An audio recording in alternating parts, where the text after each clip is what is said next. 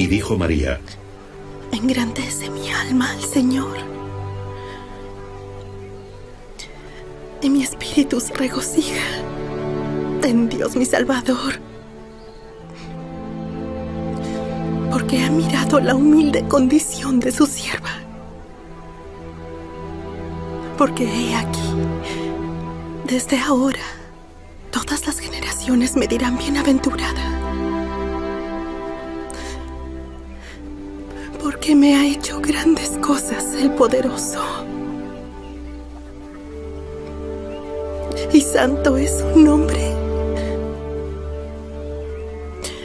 Y su misericordia a los que le temen desde generación en generación. Hizo proezas con su brazo. Esparció a los soberbios en el pensamiento de sus corazones. Quitó a los poderosos de los tronos. Y a los humildes levantó. A los hambrientos llenó de bienes. Y a los ricos los despidió vacíos.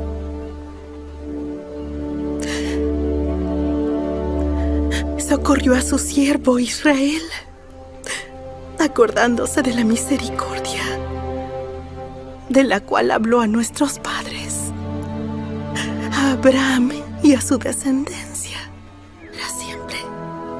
María permaneció con ella unos tres meses y regresó a su casa. Palabra del Señor. Mis queridos hermanos, tenemos que decir que todo en Ana y en María nuestra Madre es obra de Dios. Nuestra pequeñez, nuestra fragilidad y debilidad se transforma por el poder de Dios. Tenemos que aprender a dejar que Dios actúe y gocemos y seamos agradecidos con el actuar de Dios en nuestra vida. Son dos mujeres que nos enseñan a reconocer, a aceptar y agradecer el actuar de Dios en nuestras vidas para poder decir mi corazón se alegra en Dios mi Salvador con el salmista y poder cantar de la mano de María nuestro personal magnífica, mi alma glorifica al Señor. Sí, tú y yo glorifiquemos al Señor. De la mano de María y con el corazón de nuestra Madre, escribamos nuestro propio magnífica. Examinemos entonces cómo nosotros somos sensibles al actuar de Dios en nuestras vidas y también cómo nosotros nos esforzamos por ser presencia de Dios, actuando como quiere Dios,